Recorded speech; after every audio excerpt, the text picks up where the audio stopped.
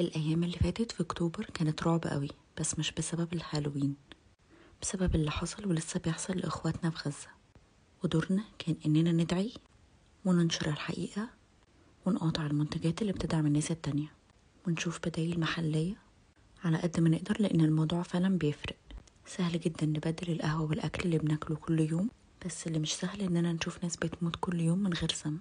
الموضوع ممكن يحير شوية بس واحدة واحدة هتكتشفوا منتجات محلية وأسعارها كويسة بداية من القهوة والعيش واحتياجات كل يوم للحاجات اللي بنديها لأطفالنا وبيستهلكوها ويتغذوا عليها في بداية حياتهم. وإزاي نربيهم على ده من وهم صغيرين علشان يكبروا على حياة صحية وعقل مثقف وفاهمين الحقيقة والهدف من اللي بيعملوه. الأسواق المحلية والبراندز الصغيرة لو اديناهم فرصة هنكتشف حاجات كتير قوي. هما هيحسنوا من جودة منتجاتهم وانتوا هتوفروا فلوسكم وهنقدر نرفع اقتصادنا.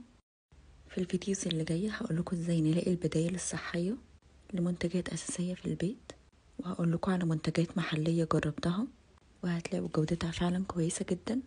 قولوا لي إيه المنتجات اللي مش لاقيين لها بدايل ونحاول ندور على بدايل مع بعض.